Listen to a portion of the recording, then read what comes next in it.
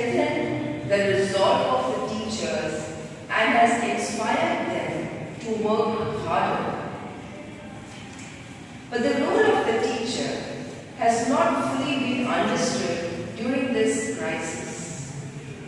Teachers are as important as health workers because they are looking after the mental, emotional and social health of children at home.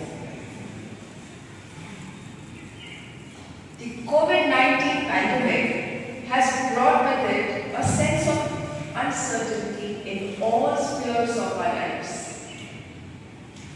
However, while adults may still be able to strike a balance or reason with themselves on why they cannot, teenagers perhaps can have a hard time struggling with what the pandemic has brought upon them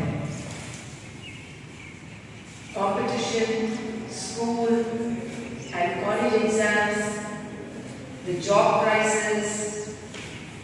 The people are now face, facing a really aggravated stress level.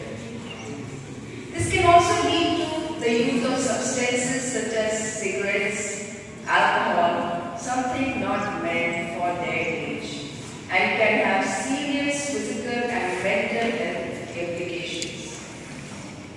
According to the National Institute of Health, one in three of all adolescents experience an anxiety disorder.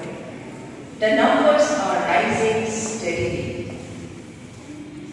Anxiety disorders in teens and adolescents has risen up to 20%. Higher expectations, pressure to succeed, and exposure to social media in these times of COVID is getting extremely, extremely worried about their future. And the most common reason for the rising levels of anxiety disorders. That is why it is very important for us to teach our teenagers to be able to identify their state of anxiety and be able to self-intervene. According to Dr. Imani Khanna, developmental pediatrician and co-founder of Guttenberg Kids, mind exercises can play a major role in training the mind